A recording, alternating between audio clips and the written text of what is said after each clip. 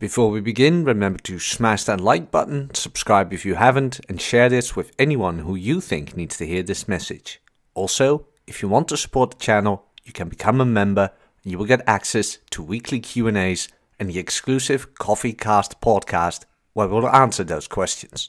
Now that we've had that out of the way, let's begin.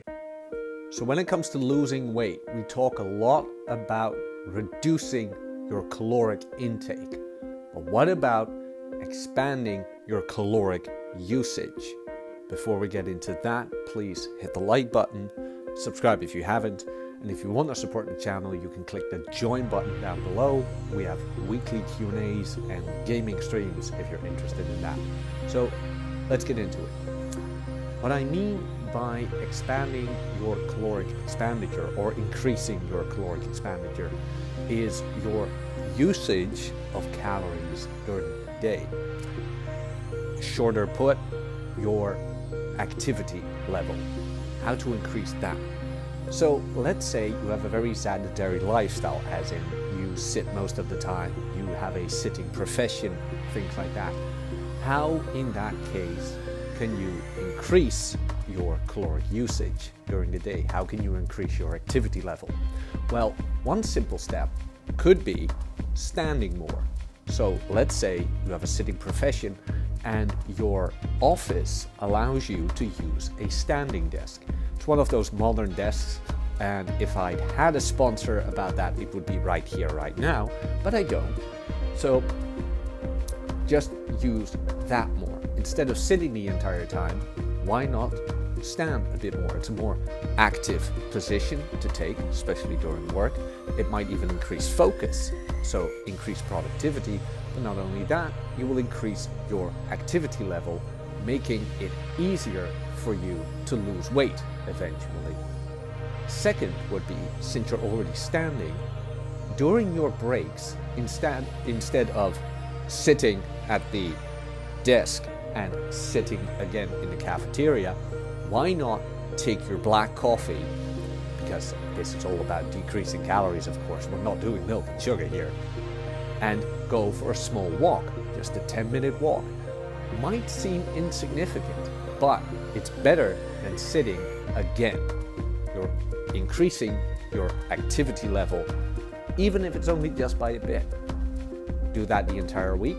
It's a 50 minute walk over the entire week. Maybe you have two coffee breaks. That's 20 minutes a day of walking. You're getting in there, increasing the activity level. Maybe when you go for a walk during your coffee break, you might miss out on, on some social gatherings here and there. Okay, that could happen. That is the trade off you need to make. Not everybody, because, well, since we are social creatures, will take kindly to it, but then ask yourself, do I want to be as this person is? And if the answer is no, then why bother? Um, just to think of it, why even bother what other people are saying? If you want to lose weight, these are things you can do. These are things you can implement to lose the weight. Number three, of course, when you're at home, instead of watching your favorite Netflix show or browsing through YouTube or watching my videos, why not take the time that that video takes and go out for a walk outside? Just increase that activity level every place you are. Number three, methods of transportation. So let's say you take your car everywhere to work, grocery shopping, things like that. If it's possible, why not go walking? Or even better, and here I am trying to like let my culture infiltrate yours, why not get a bicycle? You need to be on the move anyway. Why not find methods of transportation that make you more active instead of inactive by sitting again? Get yourself a bicycle, or, if possible, leave home earlier and just walk. Things like groceries and things like that. Do you really need the car? Maybe you can do it walking. Get those extra steps in. Get that activity level up instead of keep reducing calories. Number four, you might have guessed it, lifting. Well, of course, lifting has the benefit of making you look better, things like that, because that is the biggest reason most people do it.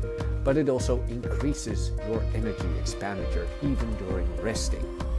even if you are sitting most of the time, things like that. Lifting and trying to increase your muscle mass, breaking the muscle down for it to need to build back up again, it requires calories.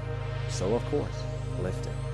These are four methods you could use today instead of decreasing calories over and over again to lose weight. I really hope this helped. Comment down below your thoughts of this video. Smash the like button, subscribe if you haven't, and I'll see you guys next time. Cheers. Look, subscribe to Jack's channel, you tight asses. It's free, it's a click of a button, and it helps this man who you're watching. If you're enjoying this content, then subscribe.